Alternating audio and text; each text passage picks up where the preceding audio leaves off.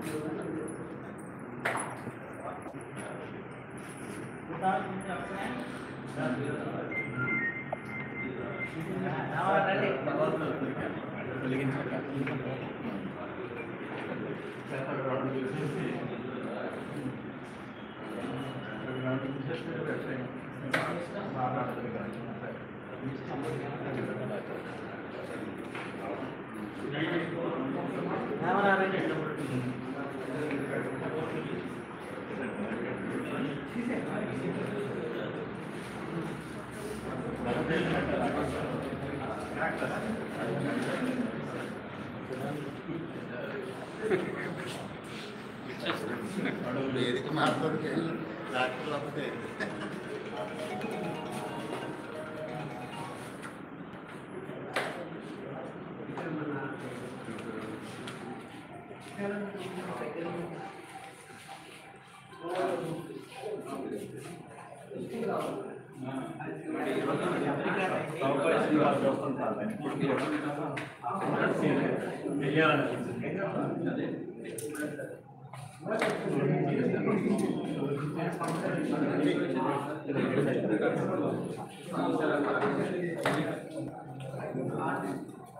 వేదిక మార్పులకి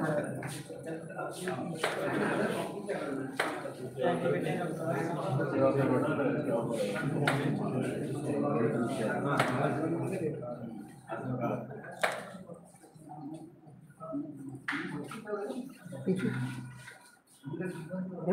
రవి ఇటు పెట్టుకో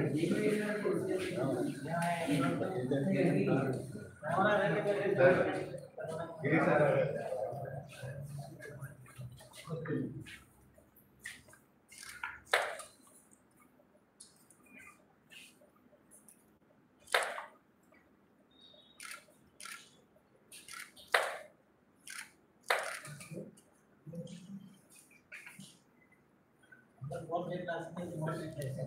yeah.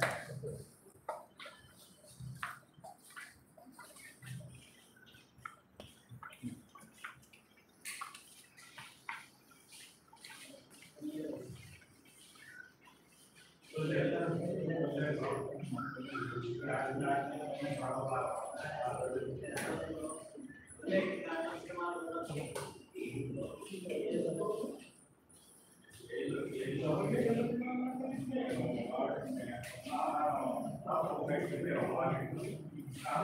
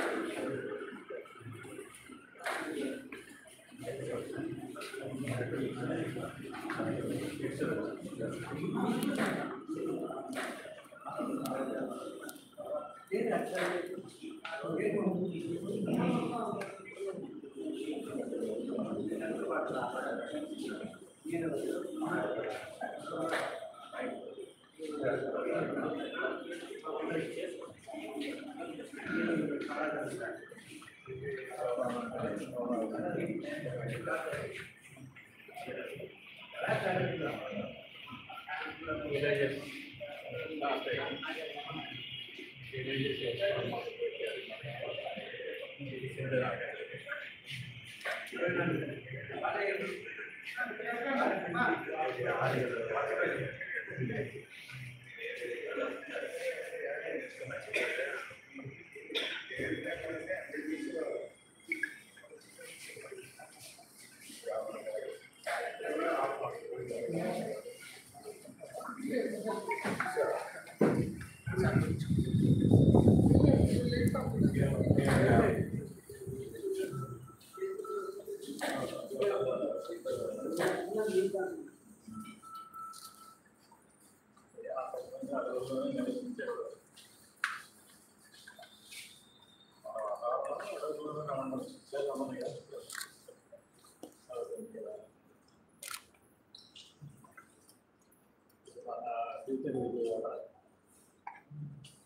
విజయవాడ వార్తలు.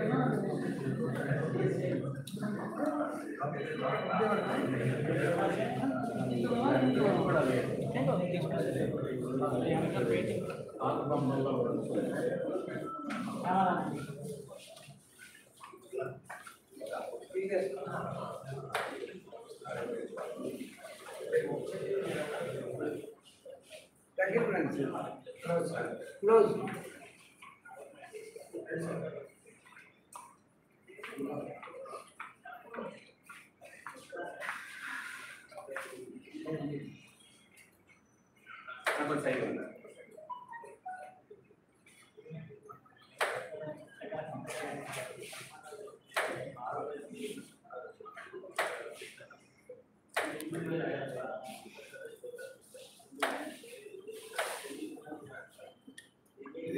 이렇게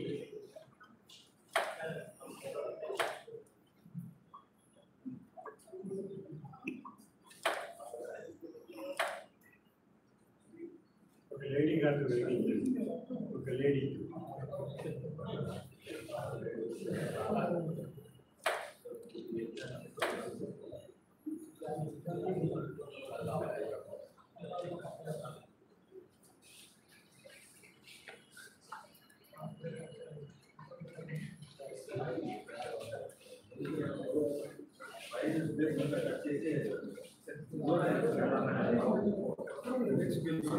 సార్ ఒక్క నిమిషం అట్లా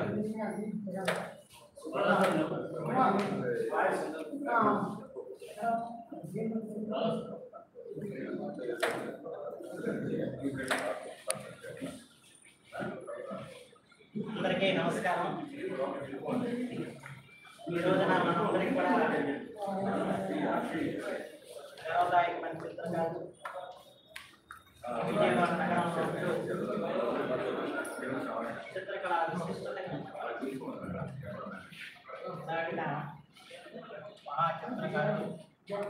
రచయిత విప్లవకారుడు శ్రీ తిప్పాని వెంకట్రావు గారు వారు వేసిన చిత్రాల ప్రదర్శనని ఈరోజు ఇక్కడ ప్రారంభించే అవకాశం కలగడం నాకు చాలా ఆనందం. నైరూప్య చిత్రకళలో అంతర్జాతీయ ఖ్యాతి గడించిన తెలుగు బిడ్డ డాక్టర్ ఎస్వి రామారావు గారు అమెరికా నుంచి ఈ కార్యక్రమంలో పాల్గొనడం రావడం నాకు చాలా ఆనందంగా అలాగే పెద్దలు శ్రీ జీవై గిరి గారు మల్లికార్జునరావు గారు సన్నార గారు ఆశీర్వాదం గారు శ్రీధర్ గారు బాజీ గారు తర్వాత బాలయ్య గారు మురళీకృష్ణ గారు ఎంతో మంది ప్రసిద్ధ చిత్రకారులు ఈరోజు ఈ కార్యక్రమంలో పాల్పంచుకోవడం ఆనందదాయకం. తెలుగు జాతికి ప్రత్యేకించి చిత్ర శిల్పకళల్లో అనాథ నుంచి కూడా విశిష్ట స్థానం.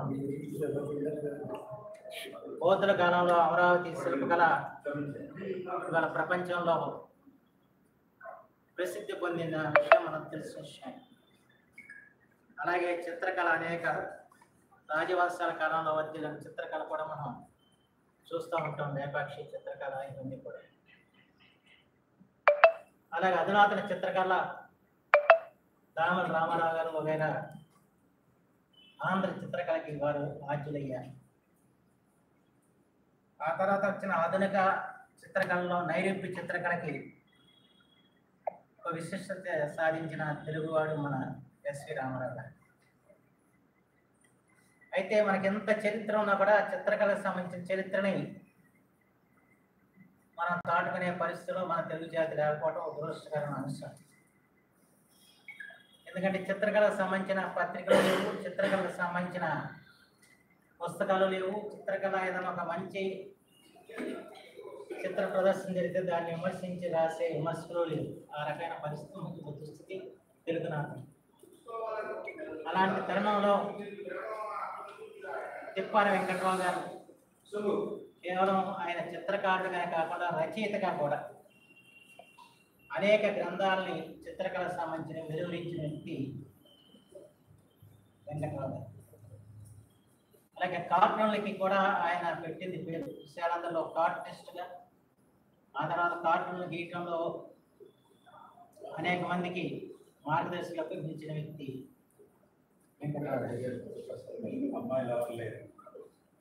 అయితే వెంకట్రావు గారు ఆయన ఒక ప్రత్యేకమైన శైలి. అంటే ఒక్కొక్క చిత్రకారుడికి ఒక్కొక్క శైలి ఉంటుంది. బాపు బొమ్మ చూస్తే "ఓ, ఇది బాపు గారు వేసిన బొమ్మ అని చెప్పి అనుకుంటాం. అలాగే వడ్డాది పాపయ్య గారి బొమ్మ చూస్తే ఇది పాపయ్య గారు అని చెప్పి రాయకూడదని గుర్తించగలుగుతాం. అలాగే టీవీ గారు టి వెంకటరావు గారి వేసిన చిత్రం చూడగానే ఆయన పేరు కింద రాకపోయినది వెంకటరావు గారి చిత్రం అని చెప్పి అనుకోవచ్చు. ఎందుకంటే ఆయన ఒక ప్రత్యేకమైన శైలి చిత్రకళలో. ఒక సామాజిక దృక్పథాన్ని తన చిత్రాల ద్వారా ప్రదర్శిస్తున్న వ్యక్తి వెంకటరావు గారు. ఆయన స్వతహాగా విప్లవకారుడు. విప్లవం వైపు ఆకర్షితుడే అడవుల్లో పోరాటాలు చేసిన వ్యక్తి తేలికైన వ్యక్తి. సమాజంలో అట్టడుగు వర్గాల గురించి ఆలోచించే వ్యక్తి. సమాజంలో ఒక సమ సమ సమాజం రావాలని చెప్పి తప్పించే వ్యక్తి. ఆ ఆ- ఆ భావనలు చిత్రకళలో కూడా కనిపిస్తూ ఉంటాయి. సహజంగా చిత్రకారుడు అందమైన పువ్వుల్ని చిత్రిస్తాడు సహజంగా. కానీ ఈయన ముళ్ళను కూడా చిత్రిస్తాడు. అది ఈయనలో విశేషత అలాగే ఆదిమ మానవుల నుంచి ఏ విధంగా ఈ పరిణామక్రమం జరిగిందన్నది ఇక్కడ చిత్రక చిత్రలో చూపించారు. అలాగే ఆది మానవుల కాలంలో నివాసాలు ఎలా ఉండి వాళ్ళ ఆధునిక కాలంలో నివాసాలు ఎలా ఉన్నాయి అన్నది ఆ చిత్రాలు చూస్తే మనకు అర్థం అంతేకాకుండా నాకు బాగా ఆనందకరమైన విషయం ఆయనతో ఉన్న సాన్నిధ్యం పెంపొందడానికి విశేషం అంటే భారత స్వాతంత్రోద్యమ చరిత్ర అంతా కూడా ఆయన చిత్రాల్లో చిత్రించారు. దానికి మరొక టీవీ గారు కారు అక్కడ మేయర్గా టి వెంకటేశ్వర గారు ఉన్నప్పుడు ఇక్కడ ఒక చిత్ర ప్రదర్శనశాల ఏర్పరిచి దాంట్లో వీరి చిత్రాలన్నీ కూడా ప్రదర్శన చేయడం జరిగింది.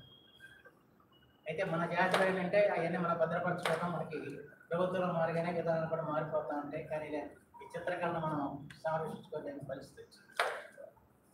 నేను కూడా ఒకటి వారితో వేయించడం జరిగింది. ఏంటంటే పింగళ వెంకయ్య గారు పంతొమ్మిది వందల ఇరవై ఒకటో సంవత్సరంలో మహాత్మా గాంధీ గారికి త్రివర్ణ పతాకాన్ని విక్టోరియా మ్యూజియం హాల్లో అందజేయటం జరిగింది. దాన్ని ఒక చిత్రంగా చిత్రించమని చెప్పి నేను వారిని కోరటం జరిగింది. ఇక దాన్ని చాలా పరిశ్రమ చేయాల్సి వచ్చింది ఇద్దరం కలిసి. ఎందుకంటే ఆనాటు ఉన్న నాయకులందరూ మన భారతదేశం నాయకులందరూ కూడా వచ్చారు. గాంధీ గారే కాదు కస్తూర్బాయ్ కాదు పటేల్ గారు తర్వాత నెహ్రూ గారు మోతిలాల్ నెహ్రూ అందరూ ఆనాటి బతుకున్న నాయకులందరూ రావడం జరిగింది. అయితే ఆ ఆ వయసు ఎంత? అప్పుడు నెహ్రూ గారి వయసు అంతా ఒక నలభై ఏళ్ళ లోపు ఉండే గాంధీ గారు కూడా యాభై ఆ, అరవై కూడా వచ్చి ఉండవు అయితే ఆ వయసులో ఉన్న ఫోటోలు సంపాదించి వాటన్నిటిని కూడా వాళ్ళందరూ కూడా ప్రకాశం గారు లేకపోతే కొండా వెంకటప్పయ్య గారు మన తెలుగు నాయకులు ఐదారు కాళేశ్వర గారు వీళ్ళందరూ ఆ- వయసులో ఎలా ఉండేవారు అవన్నీ ఆ చిత్రాలను కొంతవరకు సేకరించి దాని ఒక అద్భుతమైన చిత్రాన్ని వారి చేత గీయించడం జరిగింది. నాకు చాలా ఆనందకరమైన విషయం. మొట్టమొదటిగా ఆ- కోణంలో ఆలోచించి చిత్రించిన వ్యక్తి వెంకట్రావు గారు. ఎందుకంటే మామూలుగా ఏదో గాంధీ గారికి ఈయన ఒక జెండా వేస్తున్నట్టు చూపిస్తారు తప్ప ఇంతమంది నాయకుల సమక్షంలో ఇచ్చిన సంగతి చాలామంది తెలియదు. అయితే అప్పుడు వాళ్ళ వయసును కూడా మనం పరిగణలో తీసుకుని అప్పుడు వాళ్ళ వేషధారణ కూడా మనం పరిగణలో తీసుకుని దాన్ని చక్కగా రూపొందించారు వెంకట్రావు గారు. అంచేత ఒక చరిత్రాత్మకమైన చిత్రాల్ని తయారు చేయడంలో కదా. స్వాతంత్రోద్యమ చరిత్ర అంతా కూడా వారు మన పుస్తక రూపంలో ఒకటి తీసుకురావడం జరిగింది అది ఒక ఆనందకరమైన విషయం. ఎందుకంటే ఆ ఎగ్జిబిషన్ పెట్టిన చిత్ర ప్రదర్శనశాల ఏమైపోయినా ఈ ఇవి అందరికీ ఆ రావడంతో ఆ చిత్రాలని కూడా మనకి నిలబడిపోయింది. అలాంటి విశేషమైన కృషి చేసిన వ్యక్తి వెంకటవాడ ఇటీవలే గుర్తుకొస్తున్నాయని చెప్పి వారి ఆత్మకథ కూడా రాయటం జరిగింది. దాన్ని కూడా నేను ఆలోచించింది ఆయన జీవితం అంతా కూడా చిత్ర ఒక అది కూడా ఒక తేలిలో ఉన్న చిత్రం లాంటి దాంట్లో వెలుగు ఉంటుంది నీడ ఉంటుంది బాధ ఉంటుంది సంతోషం ఉంటుంది. రకరకాల సమ్మిళితమైన జీవితం వెంకటవాడ ఆ ఆ పుస్తకం అయితే మనకి చాలా విశేషాలు తెలుస్తాయి చాలా అనుభవాలు మనకి అందులో తెలుసుకోగలుగుతాం. అలాంటి గొప్ప చిత్రకారుడు ఈ రోజున తాను చిత్రించిన చిత్రాల్లో ఇవాళ ప్రదర్శన ఏర్పాటు చేశారు. ఈ ప్రదర్శన కదా ఆయనకు ఒకసారి మన చిత్రకళ సంతనం ఉన్నటువంటి విషయం ఇలా ఇక్కడ కళాకారులందరికీ కూడా చాలా ఇదిగా ఉన్నారు. అయితే ఒకటి సంతోషకరమైన విషయం అంటే మిగతా రంగాలలో లేని ఐక్యత మాత్రం చిత్రకారులు ఏదైనా ఇలాంటి కార్యక్రమం జరిగినప్పుడు ఎంతమంది మహానుభావులైన చిత్రకారులు వీళ్ళందరూ సామాన్యులు కాదు ఎవరికి వాళ్ళు గొప్ప వాళ్ళు. ఆ చిత్రకళ తమకంటూ కూడా ఒక ప్రత్యేకమైన స్థానాన్ని సంపాదించుకున్నారు ఇలాంటి కార్యక్రమం జరిగినప్పుడు అందరూ రావడం అందరూ కూడా దాంట్లో పాల్పంచుకోవడం దూర ప్రాంతాల నుంచి కూడా వచ్చి వాళ్ళు కూడా పాల్గొనడం చాలా ఆనందకరమైన విషయం. ఈ ఐక్యంతో మన తెలుగు చిత్రకళని మనం మరింతగా ముందుకు తీసుకునే ప్రయత్నం చేస్తాం. దానికి మార్గదర్శకులుగా వెంకట్రావు గారు ఉండాలని చెప్పి నేను మనసారా కోరుకుంటూ అలాగే ప్రత్యేకించి ఎస్వి రామారావు గారు ఆయన అమెరికాలో ఉంటున్నారు. ఇటీవల వారు రచించిన పుస్తకాన్ని అమెరికాలో ఆవిష్కరించుకోవడం జరిగింది. చికాగో నగరంలో ఉంటున్నారు.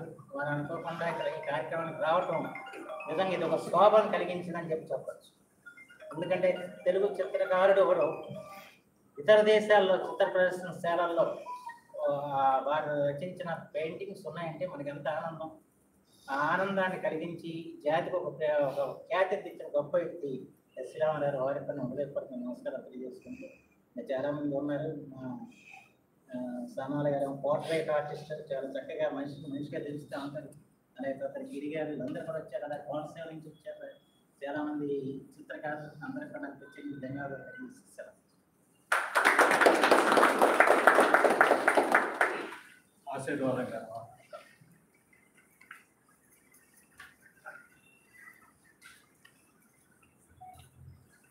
గౌరవనీయులైన పెద్దలందరికీ కూడా ముందుగా నా వందనాలు తెలుసుకున్నాను ఇక ఇవి గారి శుభాకాంక్షలు తెలియజేస్తాను. ఈవి ఎంత ప్రాముఖ్యత పొందిందో ప్రపంచంలో. అంత ప్రాముఖ్యత పొందినటువంటి మనిషి మహానుభావుడు మనకి చాలామంది పుడతారు పెరుగుతారు చనిపోతారు. కానీ టీవీ గారు అందరిలాగే నేను చేస్తే ఉపయోగం ఏముంది? ఎంతో కొంత దేశానికి ఏదైనా చేయాలి సమాజానికి ఏదైనా చేయాలి తన ఆలోచనతో తన ఆశయాల పరంపర ఉద్యమాల వైపు అడుగు వేయించింది ఉద్యమంలో వెళ్ళారు. మరి చక్కని అందమైన ఆరోగ్యకరమైనటువంటి వాతావరణాన్ని విడిచిపెట్టి అడవుల్లోకి వెళ్ళి అక్కడ సవరణలో గోండుల యొక్క బాధలు విని వారిని ఏదో అభివృద్ధి చేయాలనే తపనతో ఎంతో ప్రయత్నం చేశారు. చాలా కష్టపడ్డారు. అడవుల్లో తిరిగారు. రాళ్ళ మీద పడుతున్నారు గంధమూలాలు తిన్నారు. అలాగా ఆయన శ్రమపడి శ్రమజీవులకి ఎంతో సేవ చేశారు తత్ఫలితంగా మన ప్రభుత్వం వారు వారిని అరెస్ట్ చేయటం రిమాండ్ పంపించడం జైల్లో పెట్టడం ఇవన్నీ జరిగింది తప్పు చేసి జైలుకి వెళ్ళలేదు ఆయన. ఒప్పు చేసే జైలుకి వెళ్ళాడు. జైలుకి వెళ్ళినటువంటి మహానుభావుల్లో మహాత్మా గాంధీ ఉన్నారు నెహ్రూ గారు ఉన్నారు మరి నెల్సన్ మండేలా గారు ఉన్నారు.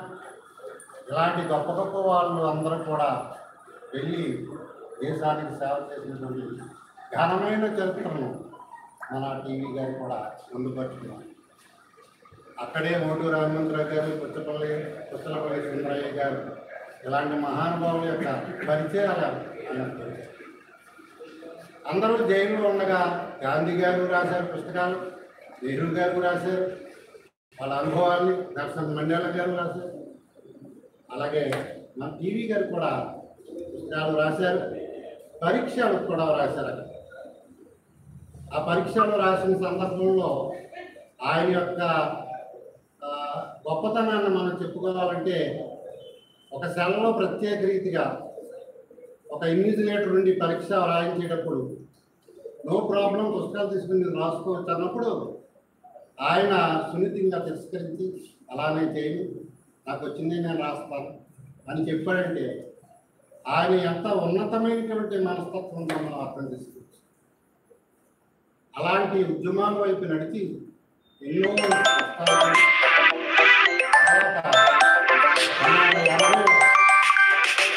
నుంచి బయటకు వచ్చాను ఒక నాణానికి రెండు వైపులు ఉంటుంది బొమ్మ బొరుసు. టీవీ గారి నాణానికి బొరుసు బొమ్మ. ముందు గొలుసు అంటే ఖాళీ ప్రదేశం దేశమంతా తిరిగి ప్రపంచమంతా తిరిగి అడవులన్నీ తిరిగి దేశాలకు సేవ చేసి. ఒక సగ భాగం అయిపోయిన తర్వాత రెండో భాగంలోకి వచ్చినప్పటికి బొమ్మలోకి వచ్చి బొమ్మనే తన జీవిత సారథ్యంగా ఎంచుకుని చిత్రకారునిగా ఆయన ఎదిగాడు. ఆయన నేర్చుకున్నారు నేర్పారు పుస్తకాలు వేశారు ప్రపంచంలో ఉన్నటువంటి చాలామంది మరి ఇక్కడ ఉన్నటువంటి చాలామందికి ఆయన ఆ విద్యను నేర్పారు. ఆయన ఆ పుస్తకాల కోసం మనం నమ్మలేం. తన భార్య వస్తువులు కూడా అమ్మేసి చిత్రకళ పుస్తకాలు కొన్నటువంటి చరిత్ర ఆయన కొన్నది. ఆవిడ కూడా ఇవ్వటం చాలా గొప్ప విషయం. రాముడు అడవులకు వెళ్ళాడు అని విన్నాం. వెనకాల సీత గారు వెళ్ళారని విన్నాం. కానీ చూడలేదు. కానీ టీవీ గారి అడవులకు వెళ్తుంటే అరుణ్ గారి వెనకాల వెళ్ళారు అది ప్రత్యక్షంగా మనం చూసి. అంచేత టీవీ గారు అంత మంచి మనస్తత్వం మంచి ఆలోచన విధానం ఉన్నటువంటి వ్యక్తి. ఆ తర్వాత ఇక్కడికి వచ్చిన తర్వాత ఎన్నో చిత్రకళ ప్రదర్శనలు చేశారు చిత్రకళను తయారు చేశారు చిత్రసంత లాంటి పెద్ద అన్నట్టుగా చిత్రసంత లాంటి చాలా పెద్ద పెద్ద మరి సదస్సులు నిర్వహించారు. సాహిత్యంలో కూడా ఎన్నో కార్యక్రమాలు చేశారు. కానీ దురదృష్టం ఏంటంటే ఆయన ఎంత ముందుకు వెళ్తున్నాడో వెనకాల దురదృష్టం కూడా కొన్నిసార్లు పరిమితిస్తుంది ఆయనకి క్యాన్సర్ వచ్చిందన్న సంగతి చాలా మంది తెలుసు. క్యాన్సర్ వచ్చి ఆయన చాలా బాధపడ్డాడు. దాన్ని బాగు చేయించుకోవడానికి ఎంతో ప్రయత్నం చేశాడు. దాని నుంచి జయించుకుని బయటకు వచ్చాను. అమ్మాయి అంటే తన ప్రియమైనటువంటి భార్య ఆవిడను కూడా చనిపోయి ఆర్థిక సమస్యలు వచ్చి ఎన్నో సమస్యలతో ఆయన సతమతం అయిపోతున్నప్పటికీ మొక్కవని ధైర్యంతో ఆయన ముందుకు సాగి చిత్రకళా మా తల్లిని మరి అందరికీ కూడా నేర్పించి ప్రపంచానికి వేల పెద్దలు అందరి చేత మన్నను పొందుతున్నారంటే ఆయన మొక్కవని ధైర్యం. న్యూయార్క్లో జార్జి కాఫీ అని ఒక ఆర్టిస్ట్ ఉన్నారు. ఆవిడ జీవితాంతం కూడా ఎలాగే చిత్రకళను పోషిస్తూ వేస్తూ తొంభై ఎనిమిది సంవత్సరాలు బ్రతికింది. తొంభై ఎనిమిది సంవత్సరాల్లో రెండు రోజులకు ముందు చనిపోతుందంటే కూడా ఆవిడ పెయింటింగ్ వేసింది. అలాంటి జాతీయ ఓకాఫీ లాంటి వారు మన జీవి గారు. ఈయన వంద సంవత్సరాలు కూడా మన మధ్య జీవిస్తూ వంద సంవత్సరాలు కూడా పెయింటింగ్లు వేస్తూ మనందరిని అలరిస్తూ ఆయన ఇన్స్పిరేషన్తో చాలామంది ముందుకు పడితే విధంగా ఆయన స్ఫూర్తి ఆయన ఆదర్శం మీకు నాకు మనందరికీ ఉండాలని ఈ సందర్భంగా మరి ఆయన్ని మనస వాచ కర్మ మరి ఆయన నేను కోరుకుంటూ ఆయన ఆరోగ్య ఐశ్వర్యాలు ముందుకు సాగాలని కోరుకుంటూ ఈ అవకాశం ఇచ్చినటువంటి అతనికి నమస్కారం తెలియజేస్తాను.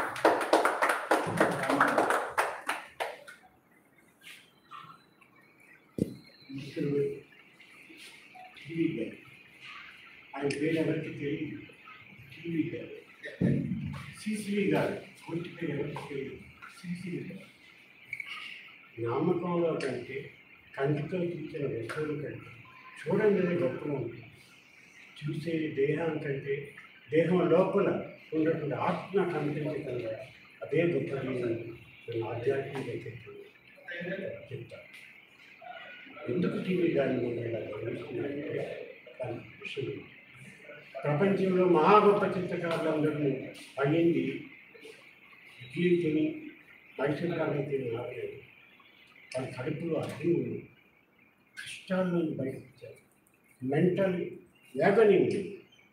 పిచ్చగా వాళ్ళు వాడు తెచ్చుకుని యాగని కాదు బయట వాళ్ళు పెట్టినటువంటి సొసైటీలో పెద్దలు పెట్టినటువంటి బాధలు వికలాంగిలోకి ఎన్ని బాధలు అంటే నమ్మలేము ప్రతి పోపు వచ్చే ఆయనకి నా విగ్రహం నేను చనిపోక ముందే నాకు ఒక సమాధి కట్టమనేవాడు.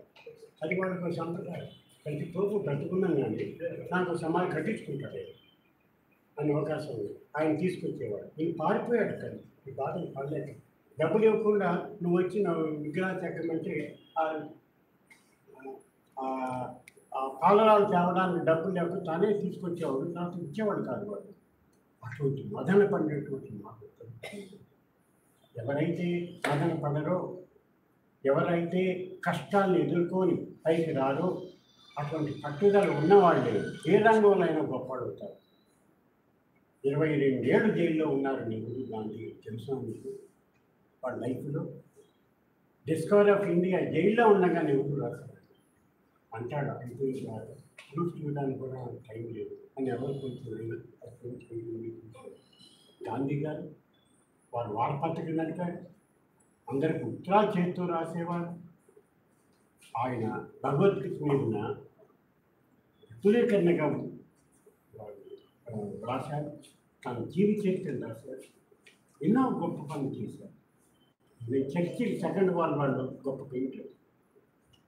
అదే సెకండ్ వరల్డ్లో అమెరికా తరపు వచ్చినటువంటి ప్రెసిడెంట్ గొప్ప పెయింటర్.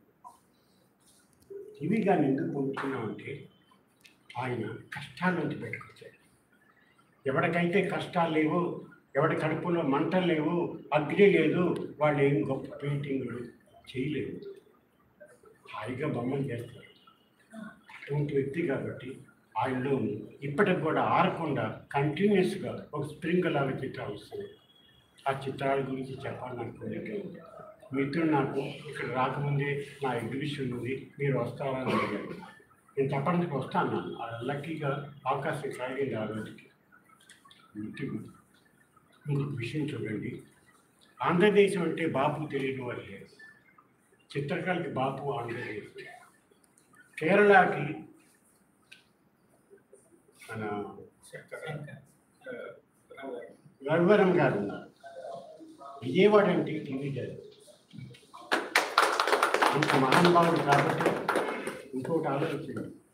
ఒక చిత్రకారుడు ఎగ్జిబిషన్ పెడితే హిమాయమి చిత్ర చిత్రకారుడు శిల్పకారుడు అందరూ వచ్చారంటే ఆయన ప్రతిభ కాకుండా ఆయనకి ఎంత స్నేహశీలో అనేది చెప్తుంది. ప్రతి ఆర్టిస్ట్కి ఉన్నటువంటి ఒక స్వాభిమానం ఇతరుల్ని మెచ్చుకోవడానికి అడ్డొస్తుంది. అటువంటిది ఏం లేదని అది గుర్తించి అనుభవించారు ఒక విషయం ఆయన రైటర్ మైకలాంజలో సార్ మైకలాంజలో పుస్తకం నా దగ్గర ఇరవై ఏళ్ళ నుంచి చదువుతాను సేమ్ పుస్తకం. లెటర్స్ ఆయన లైఫ్ గురించి పోపు ఉత్తరాలు పడిన కష్టాలు. ఎప్పుడు చదువుతానే ఉంటాను నేను. ఎందుకంటే ఆయన ఆత్మ ఎటువంటిది ఎన్ని కష్టాలు ఎలా ఎదుర్కొన్నాడో నేర్చుకుంటాను. మనం నేర్చుకోవాల్సింది ఆయన అన్నింటిలో పెట్టింది కష్టాలు ఫిజికల్గా పడి గవర్నమెంట్ ద్వారా భయపడి వెళ్ళి భయం భయంగా బతికి నెల్సన్ మండలా అని అలాగే జైల్లో ఉన్నవాళ్ళు ఆ మహానుభావుడు ఆర్టిస్ట్ అంటే ఇంకొక విషయం ఉంది. ఆర్ట్ టీచర్ కూడా. ఈ ఎగ్జిబిషన్లో ఆర్ట్ టీచర్గా చేశారు. ఆర్టిస్ట్గా చేశారు. అది హిస్టరీ మీద భయం ఉంది. ఈ చిత్రాల్లో హిస్టరీ డిపిక్ట్ చేశారు ఈ చిత్రాల్లో బ్యూటిఫుల్ రెండరింగ్ రూబెన్స్ లాంటి sweetest colouring cactus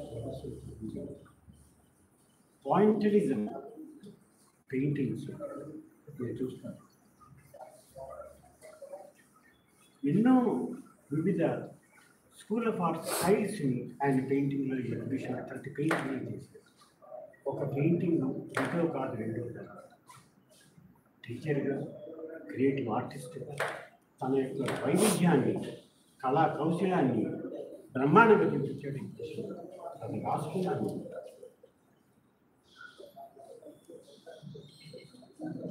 ఒకటి నాకు బాగా టచింగ్ అయింది ఒక ఎండలో దాహం వేస్తుంది. ఆ పైపు బొట్టుతో నీరు కాస్తూ అది దాని మీద నిల్చొని కింద వాళ్ళు కాదు నుండి నుండి తాజా వచ్చి అంతకంటే ఇంకా ఇంకేమన్నా సినిమా వాళ్ళు కూడా తీయలేదు అలా. ఒక ఆర్టిస్ట్ ఆ యొక్క ఈవెంట్ని అలా క్రిస్టలైజ్ చేసేసి ఆయన నిజంగా ఒక గొప్ప ఆయన విలేజ్ లైఫ్ డిఫిట్ చేశారు వెరీ ఇంట్రెస్టింగ్ ఆదిమానవ జీవితాన్ని వాళ్ళు వాళ్ళు యానిమల్స్ కొన్ని జంతువులు పెంపకం చేయడం నీళ్ళకు ఉంటే వెళ్ళి దోషులతో కాదు. ఇలా పండుకొని ఆ తాగేయడం యానిమల్. ఆది తర్వాత మానవుడు తర్వాత కొంతకాలం తర్వాత నిప్పు కనిపెట్టాడు. నిప్పు కనిపెట్టిన తర్వాత జీవిత శైలి ఎలా ఉంది? ఆ అభిమానులకి ఇంకోటి అది పోయిన తర్వాత ఇంకొద్దిగా కాలం అయిన తర్వాత విలేజ్ వాళ్ళందరూ ఆ విలేజ్ సెంటర్ ఏ సాధు పూర్వులు ఏ తెలిసిన మా వేదాంత వేమన గారు అన్నారు వేమన ఉంటే ఆయన చెప్తుంటే అందరూ కూర్చొని విందు ఆ కూర్చొని పిల్ల పాప పెద్ద అందరూ ఉన్నారు ఈ విధంగా పరిణామం జరుగుతున్నది మానవ జీవితంలో అన్నది ఆది మానవుని తీసుకుంటుంది తర్వాత కలేజా వెళ్తుంది సింధు నాగరికంలో ఎలా ఉంది? ఆర్యులు వీళ్ళు ఎలా బతుకున్నారు?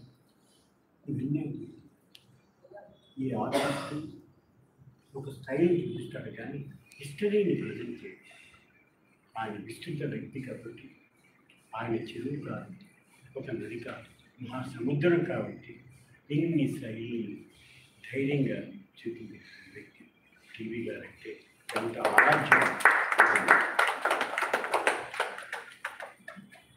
చూడండి విజయవాడ. కార్లతో నిండిపోయిన road elevated train tracks high rise modern buildings దాని మీద పెట్టి ఎంత కంజెస్టెడ్ చూపించాడు ఒక పక్క మౌంటైన్ ఆకాశం హెలికాప్టర్ ఇంకో విషయం మనకు తెలుసుకోవాలి మీరు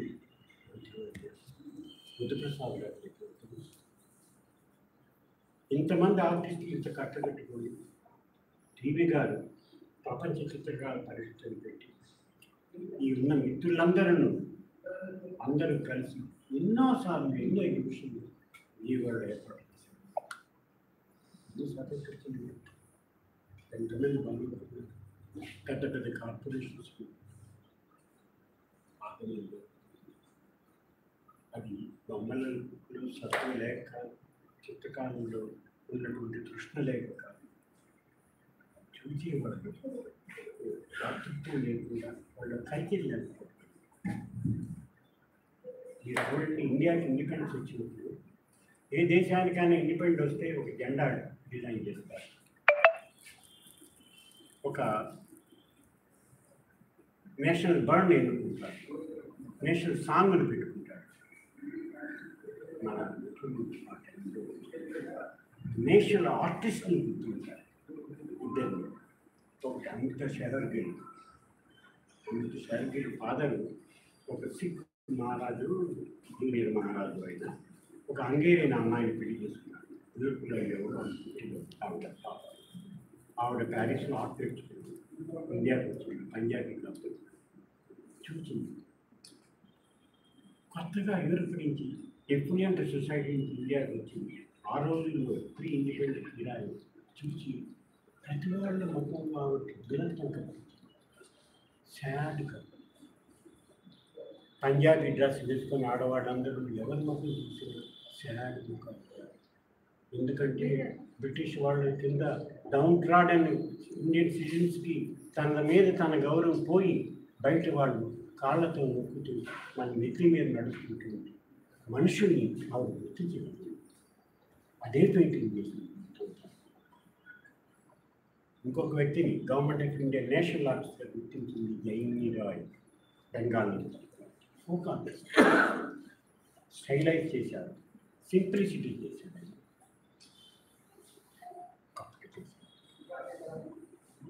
అలాగే టీవీ గారు తను తెలిసిన విద్యని పుస్తకాల ద్వారా అందరినీ ప్రైవేట్గా ఆర్టిస్టులు అవ్వడానికి కావాల్సిన పరీక్షలు భరించడం ఎగ్జిబిషన్ ఏర్పాటు చేయడం పక్కన తన పెయింటింగ్ చేసుకోవడం ఇవన్నీ చేసినటువంటి మల్టీ టాలెంట్ గ్రేట్ మానవుడు గ్రేట్ చిత్రకారుడు మనందరికీ నిజంగా చిన్నవాడైన గౌరవం టీవీ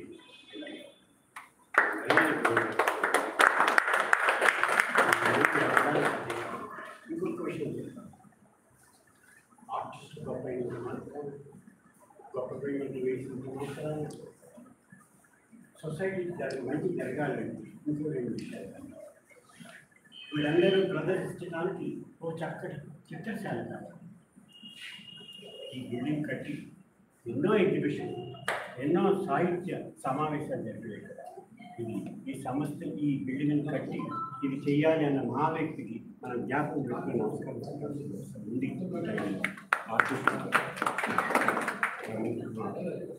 మెడలు కట్టినవాడిదే కాదు.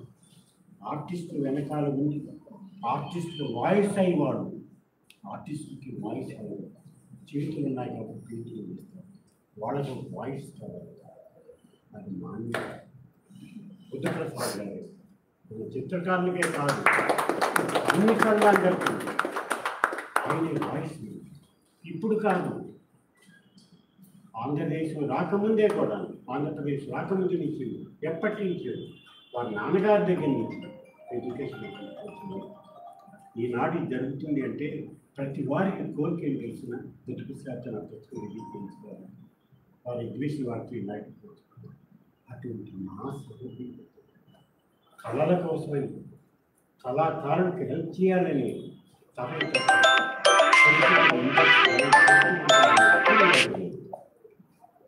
ఆయన గ్రహించారు. ఒక పదవి ఉంటే దానివల్ల ఎక్కువ పనులు చేయగలుగుతాను ఇంకోటి వ్యక్తి కంటే గవర్నమెంట్ చేయగలుగుతాను అని సహకారిగా పదవులు తీసుకుంటే తప్ప ఏదో పొలిటికల్గా ఉన్న ఆలోచన చేసే వ్యక్తి మన కాలంలో కృష్ణదేవరాయ మనకు. కాబట్టి అటుంటారు మనకి ఉండి అండగా ఉన్నారు అంటే అది మన చిత్రాలు అందరిగా అలా కళాకారులు అందరూ పనిచేసుకోవాలి కాబట్టి ఇదే కాదు మహామాన్ అందరినీ మహామా ఫ్రెండ్స్ తెలంగాణ నుంచి ఆంధ్ర నుంచి ఎన్నో చోట్ల ఇచ్చారు అంటే అది మీ యొక్క ప్రేమకి వాళ్ళందరూ ఇచ్చారు అందరం ఒక కుటుంబం చిత్రకారులు పెద్ద చిన్న ఏం లేదు. అందరూ ఒక క్యాన్వాస్ కాంబినేషన్ కానీ ఆశించేది ఏంటంటే ప్రభుత్వాలు చేయవలసిన పనులు మర్చిపోయింది ప్రభుత్వాలు గవర్నమెంట్ ఉన్నాయి ట్యాక్సెస్ కలెక్ట్ చేస్తున్నారు. పెద్ద పెద్ద వాళ్ళకి గ్రాంట్ ఇస్తారు. ఆర్టిస్ట్ చూసి ఒక స్టేట్ గ్యాలరీ అంటూ మనకు లేకపోయింది. దానికి ఒక కమిషన్ వేసి అయ్యా ఇది కళల కోసం నీ పని. ఒక మనకి పెద్ద కాంప్లెక్స్ కడతాం ఆర్ట్ పెర్ఫార్మెన్స్ ఫార్మెన్స్ చేస్తే చూపించాం ఎవరు ఉండగా. రుక్మిణీది వరంగల్ ఉండగా. మెద్రాస్ కళాక్షేత్రంలో నేను అక్కడ చదివాను. ఇప్పుడు నెహ్రూ గారు పెద్ద పెద్ద ప్రజలు రష్యా నుంచి ఎక్కడి నుంచి వచ్చిన మీటింగ్ అయిపోయిన ఢిల్లీలో చెన్నైకి పంపించారు కళాక్షేత్రం రుక్మిణి దేవి డాన్స్ పర్ఫార్మెన్స్ చేసి ప్రైడ్గా మా కల్చర్ సెంటర్ సౌత్ కూడా ఉంది. ఢిల్లీలోనే కాదు. మాకు అన్ని చోట్ల ఉన్నాయి. అటువంటి గౌ గర్వాన్ని పొందుతున్నటువంటి గవర్నమెంట్ మనకు కావాలి. మన స్టేట్ లెవెల్లో మనకు ఇంతమంది పెద్దలు ఉన్నారు ఎవరు చీఫ్ మినిస్టర్ ఎవరికి తెలుసు. లేకపోతే కల్చరల్ మినిస్టర్ ఎవరికి తెలుసు?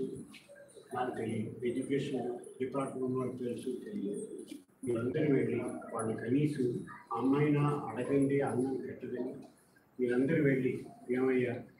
మెడ్రాస్లో మ్యూజియం చేయండి వాళ్ళు ఎడ్యుకేషన్ చేస్తాం ఎవరిని ఇస్తారు చేసి మన కూడా పెట్టాలి. పదిసార్లు అడుగుతాం రాకపోతే వంద సార్లు అడుగుతాం ఎందుకంటే అది చేయకపోతే నష్టం ఎవరికి వాళ్ళకి నష్టం తెలియట్లేదు. అప్పుడే తెలియజెప్పడం చేయవలసిన బాధ్యత కూడా మనకు ఉంది. పెద్దవారి సలహా తీసుకొని పెద్దవారి సలహాన్ని వాడి ఎవరెవరు ఉన్నారో వాళ్ళు తీసుకొని మీరు చేయాలి. చేయకపోతే కల్చరల్ డెజర్ట్ ల్యాండ్ అయిపోతుంది ఆంధ్రాలో అందువల్ల ఈ అవకాశం నాకు ఇచ్చినందుకు టీవీ గారు స్నేహితులందరూ టీచింగ్ ఎంతోమంది ఆర్టిస్ట్ నేను చూశాను నాకు చాలా ఆనందంగా ఉంది ఈ అవకాశం కలగడం నా అదృష్టంగా భావిస్తూ ఈ అవకాశం ఇచ్చిన మీ అందరికీ నమస్కరిస్తాను సార్ నా పేరు జీవై గిరి ఫ్రమ్ హైదరాబాద్. నా రిక్వెస్ట్ గవర్నమెంట్ పెడుతున్నా ఏమంటే ఆర్టిస్ట్ ఎప్పుడు ఖర్చు పెట్టాలి కానీ తిరిగి ఏం కాదు. అది కూడా ఖర్చు దేని కొరకు పెట్టాలంటే మీ కొరకే మీరు సంతోష పెట్టడానికి ఖర్చు పెట్టారు మీరు గవర్నమెంట్ ఇలా ఉన్నారు కనుక లలితల అకాడమీ నుండి ప్రతి ఎగ్జిబిషన్ రెండు మూడు పెయింటింగ్లు కొనాలి ఖచ్చితంగా. చిన్న కొన్న సపోర్ట్ అవుతుంది ఆ పెయింటింగ్ ఎక్కడ పోవు? గవర్నమెంట్ ఆఫీస్ లేదంటే ఏదైనా మ్యూజియం పంపించండి కలెక్షన్ ఉంటే వీళ్ళు ఎప్పటికీ బతుకుతారు నా రిక్వెస్ట్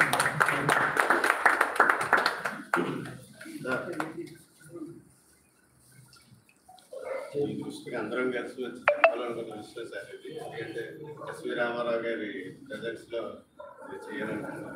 రెండు వేల ఇరవై నాలుగు ఫిబ్రవరికి ఉభయ తెలుగు రాష్ట్రాల్లో ఉన్నటువంటి కళాకారులు అందరూ ఆర్టిస్టులు తర్వాత సర్వ కళాకారులు మొత్తం సినీ ఫీల్డ్లో ఉన్న వాళ్ళతో సహా మూడు రోజుల పాటు మహాసభలు నిర్వహించుకోవాలి. అందరినీ కలిపి కళాకారులు అందరినీ చోట చేర్చాలి అని చెప్పి మేము రీసెంట్గా అనౌన్స్ చేసాము దానికి ఒక వన్ ఇయర్ పాటు అన్ని విభాగాల్లోనూ కాంపిటీషన్.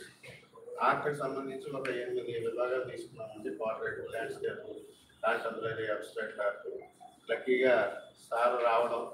సో ఆ కాంపిటీషన్కి సంబంధించి ప్రతిదాన్ని కూడా ఒక పాసిబిలిటీ చోటు పెట్టాలనుకున్నాం. అదృష్టం మన జీవై గిరి గారు ఎమినెంట్ ఆర్టిస్ట్ ఆఫ్ ఉభయ తెలుగు రాష్ట్రాల్లో sculpture everything all in all painter sculpture మొత్తం అంతా. తర్వాత ఇక సారు ఈ క్లాస్కి ప్యాటర్న్ అడ్వైజర్లు ముగ్గురు ఉన్నారు. బాబు గారు వైకుంఠం గారు సారు. అందులో చాలా అదృష్టంగా మీ presence లో ఈ కాంటెంపరీ అండ్ అబ్స్ట్రాక్ట్ ఆఫ్ కాస్ట్ని రిలీజ్ చేయాలని అనుకున్నాం sir. Okay. Sir one sir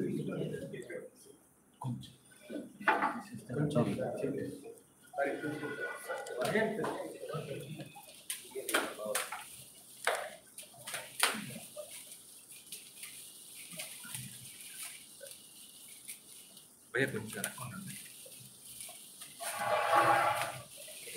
వెనక్కోండి.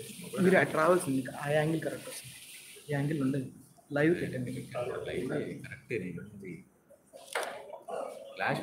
ఉన్నారు కదా మీరు. గిరి సార్ సార్ దగ్గర గిరి సార్. మీరు కెమెరా ముందు వెనక్కి వస్తే వైడ్ వస్తుందండి. మీరు ముందుకెళ్తే ఒక మనిషి ముఖం వస్తుంది. సార్ కొంచెం ఓపెన్